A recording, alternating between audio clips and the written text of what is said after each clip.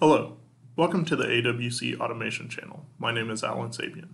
In this video, we'll continue the Intro to TIA Portal series with adding and configuring devices. From the project view, select Add New Device. From this pop-up, you can select the device you would like to add and configure. The tiles you see here on the left may be different for you as they depend on the software components you have installed on your computer. In our example, let's add an unspecified S7-1200 CPU. Using this method is especially helpful if you are connecting to a PLC without knowing the part number or firmware. Note that you can change the device name. This will become helpful in the future as your projects contain more devices. Once your PLC is added, you can choose Detect for the software to communicate to the connected PLC and determine both the part number and the firmware version. To do this, open the device view for the unspecified CPU by selecting Device Configuration. Then select Detect. This is your online interface. I'm using Profinet Industrial Ethernet and my network interface card. This may vary slightly for you. Click Start Search.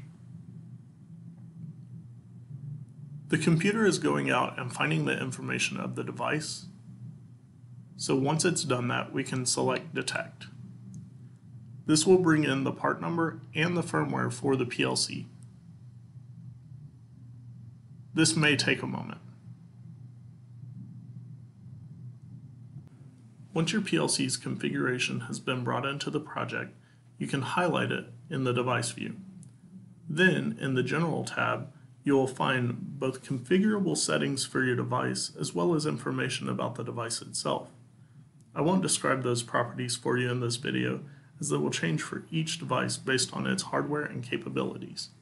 For this example, we will keep the IP address as the default 192.168.0.1 with a subnet of 255.255.255.0. You can find this parameter under Profinet, Ethernet addresses, and in this window to the right.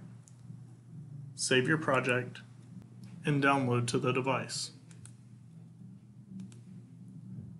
You will notice that when you search for the PLC again, this time it will find an IP address.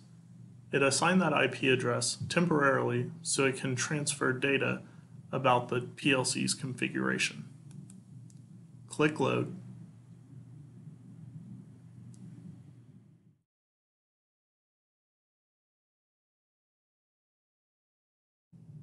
Click Load again.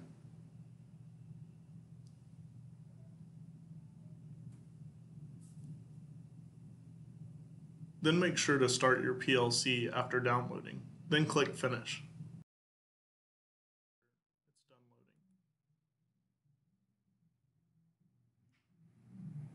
This concludes the basic setup of a PLC. For further assistance, products, or training, please contact us at 1 800 AWC Info or www.awc-inc.com. We are here to help.